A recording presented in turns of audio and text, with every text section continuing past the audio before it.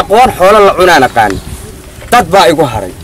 Haddii xoolaha markaan aqaanay oo aan haystay waa gadan jiri duunyada marka miyaan caqliyayu keeni karin dadka inaan marka haddii ayaga isku badbaadsho oo isu gado ila dunyada isu cabdiweli jaamac baadi oo ka mid ah dadka ay abaarta ku saamaysay gobollada waddanka soomaaliya haatana ku jira mid ka mid ah xeryaha ku yaalla duleedka magaalada gaalkacyo xarunta gobolka mudug. Ayaa sheegay arrin ka yaabisay dadka maqlay iyo kuwii arkay labadaba. Kadib markii uu sheegay in mid ka mid ah carruurtiisa uu iska iibinayo ninkan oo haystaa saddex iyo toban carruur ah iyo saddex xaas oo uu qabo ayaa sheegay inuusan haynin wax uu siiyo islamarkaasina uu doorbiday inuu iibiyo mid ka mid ah carruurta si uu ugu badbaadiyo kuwa kale. Arrintan oo la yaab ku noqotay dadka ku dhaqana magaalada gaalkacyo xarunta gobolka mudug ayaa tv-ga caalamiga star t v xaruntiisa magaalada gaalkacyo xarunta gobolka mudug booqasho ku tegay halka uu degan yahay ninkaasi oo ka warbaaxshay arrimahaasi. Waxaa la yidhaahdaa aniga cabdiweli jaamac gabdhahaan rabaa mid baan gabar yar baan iska gadanayna haddii barya naga dhammaatay oo aan la isuba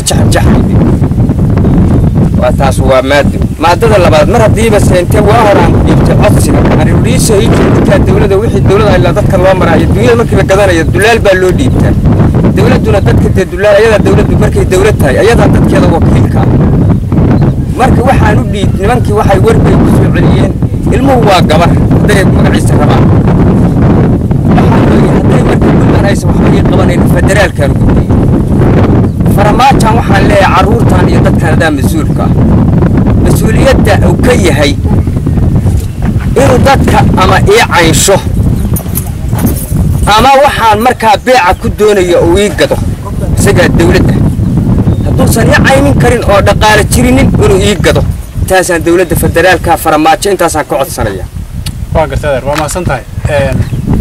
Macne waxaad tiri xoolaha markii la gadayo oo dilaal baa loo dhiibaa. Dadka waa la kala gataa laakiin dawlad burbura awal jidhay siyaasadii hoos hoos baa loo kala gataa. Dad la gadada weli ma aragtay wax badan baa la arkay. Maalin kasta waxaa la dad baa deerdanku waxaas dad bisin kastoo anigu aana taagnayn wax markaa la gaday.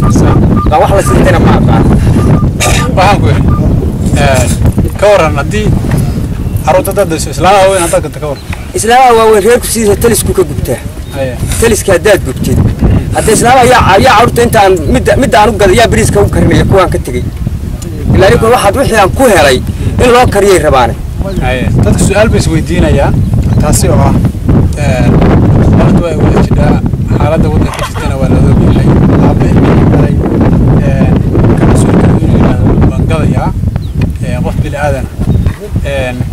Waxyaabo kale u samayn lahaa ama maaragtay shimbiruhu u dabi lahaa ama waraabuhu u dili lahaa wax kale umuu samayn lahaa ama dadku u dhici lahaa wixii la mid ah.